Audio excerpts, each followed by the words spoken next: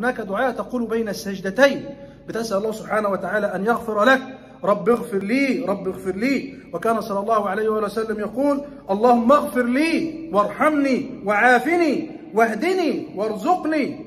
وفي لفظ واجبرني واجبرني يعني اجبر بخاطري يا الله. لا تكسر بخاطري حينما أخرج من الليل من الصلاة. اجبرني يعني كأنك تتكسر في اليوم عددا من المرات. سواء من المشاكل أو من ضغوطات الحياة. حينما تأتي إلى الله سبحانه وتعالى فالله سبحانه وتعالى يعيد ترميمك مرة أخرى يعيد جبرك مرة أخرى. الله سبحانه وتعالى يعيدك إلى الحياة مرة أخرى وأنت في قمة تألقك لأنك سجدت وقلت ما عندك لله سبحانه وتعالى.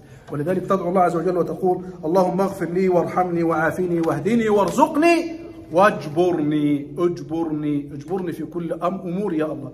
اجبرني في عملي اجبرني في في في أسرتي اجبرني في أولادي اجبرني مع الناس. واستر يعني بتطلب الله سبحانه وتعالى أن يجبرك في كل أمر من أمور الإيه؟ الدنيا والآخرة.